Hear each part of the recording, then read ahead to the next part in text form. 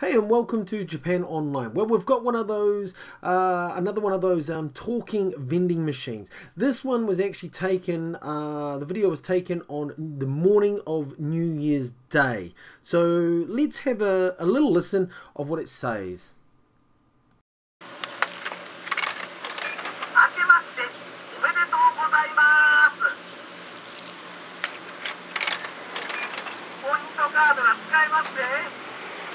So he says there, Akemashite omedetou gozaimasu, which means Happy New Year. And then he says, what did he say? He says, uh, pointo card desukaimase, uh, which is, uh, do you want to use a points card? So he's assuming that you've got a card, so he's just reminding you to use it. What else does he say?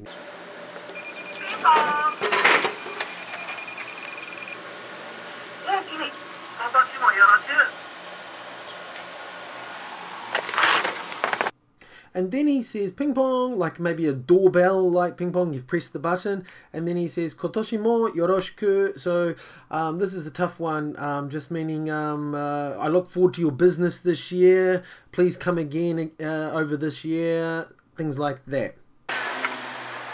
明けましておめでとうご言わなかったね。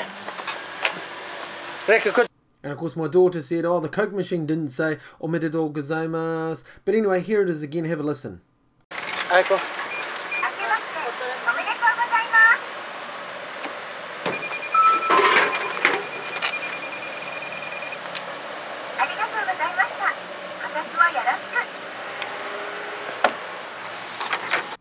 And again, she says, uh, Happy New Year, and uh, uh, this year we look forward to your business. Kotoshi mo yoroshiku.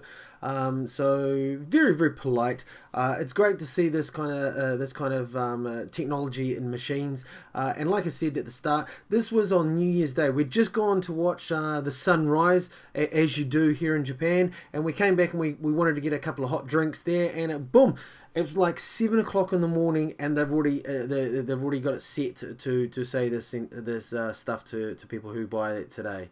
Anyway, thank you for watching. Thought you'd enjoy that. If you haven't subscribed, click on the big subscribe button there, and you'll be able to receive updates uh, from when we upload videos, which is usually about two to three times a week. If we're on holiday, it's probably more. To the left there, we have a couple of videos that you might enjoy. If you enjoyed the vending machine you just saw, then the bottom one there is talking about the three main vending machines you'll see throughout Japan.